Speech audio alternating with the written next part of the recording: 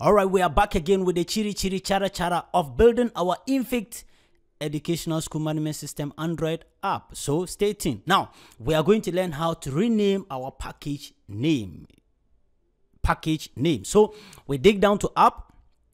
Then from app, we come to um Java. Yes, Java. And then we'll come to com.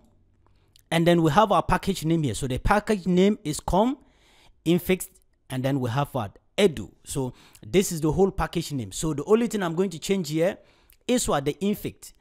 that is what i'm going to change. So what i'll do is that i right click on the folder infix. then i will come to refactor. Refactor. Then i'll go to um rename.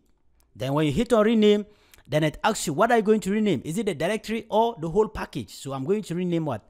The whole package. So I hit on rename package. Then it will ask me for my new name. Then I'll type Da-viruz system for short DVS. And then I will ask you to search in comments and strings to replace wherever there is this particular word infix on it. And then as well as search in every text occurrence of what infix and replace everything.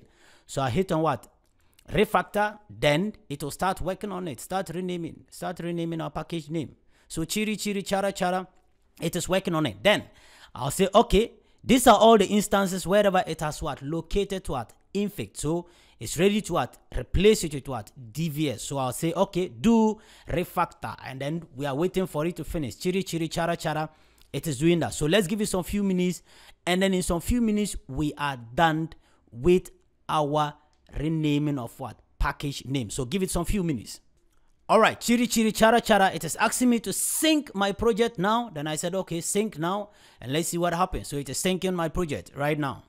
All right, so my project is sync, but I have an error because there is a saying that there is no matching what um package name for com.dvs.deu,